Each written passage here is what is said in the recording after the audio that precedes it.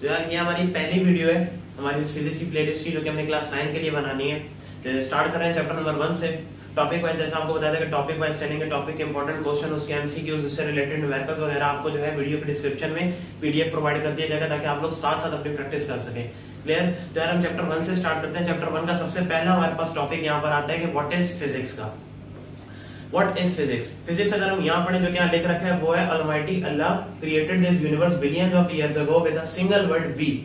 and at once it came into being he conducted several principles and laws into it to sustain its function now from the day of their creation every particle of the universe is following these laws these laws are known as the laws of nature इसका मतलब क्या है कि यार, हमारे परवरदिगार ने अल्लाह ताला ने इस दुनिया को जब बनाया था तो जैसा कि बताया जाता है कि अल्लाह पाक ने इस दुनिया को कुन का लफ्ज कहकर जो है क्रिएट किया यानी कुन का लफ्ज अल्लाह पाक ने जो है फरमाया और ये दुनिया की जो है तखलीक हुई।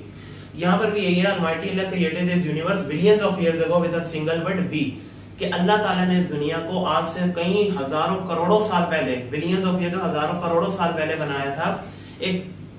एक लफ्ज के कहने पर, यानी एक लफ्ज अल्लाह ताला ने फरमाया था कुन, जिसकी वजह से दुनिया जो है पूरी क्रिएट हुई।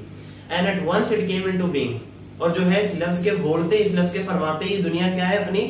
वजूद में आ गई। He conducted several principles and laws into it to sustain its function. इस दुनिया को कायम रखने के लिए, इसका निज़ाम चलाने के लिए जो है, अल्लाह ताला ने कुछ ऐसे प्रिंसिपल कुछ ऐसी चीज़ें बनाई थी, यानी कुछ ऐसे लॉज कुछ ऐसे कानून बनाए थे इस कायनात के, जिन्हें हम कहते हैं लॉज ऑफ़ नेचर उस दिन से जब से दुनिया बनी थी और आज तक हम लोग उन लॉज को फॉलो कर रहे हैं और उन्हीं लॉज को जो मैंने आपको बताया कि लॉज ऑफ़ नेचर कहा जाता है, यानी कुदरत के कानून। क्लियर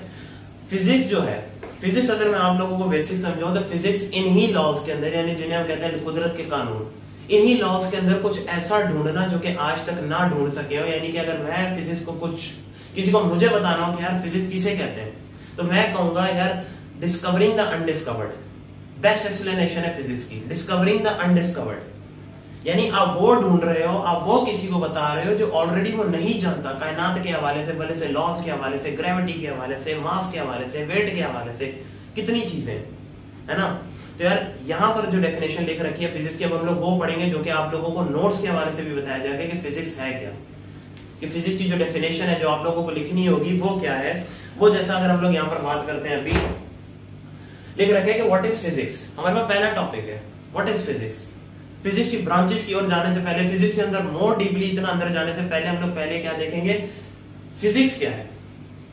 फिजिक्स है यहाँ पे देखो लिखा हुआ derived from a geek word derive from a geek word साइकोस साइकोस जैसे फिजिकोस जो भी आप पढ़ लो मीनिंग नेचुरल यानी फिजिकोस नाम के लफ्ज से निकला है ये फिजिक्स का जो लफ्ज है फिजिकोस से निकला है फिजिकोस का गीक मीनिंग है नेचुरल यानी फिजिक्स क्या है? फिजिक्स क्या है? नेचुरल जैसे आपको बताया लॉज ऑफ़ नेचर से रिलेटेड है। यानी जितनी चीज़ें नेचुरली एग्जिस्ट कर रही हैं, जो अल्लाह ताला ने इस कायनात में बना रखी हैं, अल्लाह ताला ने इस कायनात में तखलीक कर रखी हैं, उनके ऊपर वर्कअप करना। हमारा फिजिक्स के अंदर आता है और फिजिक्स ग्रीक वर्ड है साइकोस से निकला हुआ है फिजिकोस से निकला हुआ।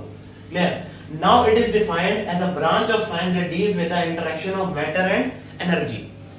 अब जो है मॉडर्न डेफिनेशन के हिसाब से हम लोग फिजिक्स को कैसे डिफाइन करेंगे कि यार physics is a branch of science that deals with the interaction of matter and energy यानी साइंस की एक ऐसी ब्रांच जो कि क्या करती है, हमारे जो मैटर है। मैटर को हम लोग अमूमन तौर पे कहते हैं मादा या मादा कह सकते हैं हम मैटर को। क्लियर और एनर्जी यानी कुवत इन दोनों के इंटरेक्शन से यानी ये दोनों आपस में किस तरीके से रिएक्ट करते हैं, इनका आपस में किस तरीके से इंटरेक्शन होता है, ये लोग आपस में रिएक्ट करने में किस तरीके की जो है फंडामेंटल कॉन्सेप्ट सामने आते हैं हमारे, किस तरीके के रिएक्शन होते हैं, किस तरीके की प्रॉपर्टी चेंजेस होते हैं हमारे पास मैटर और एनर्जी के रिएक्ट करने पर।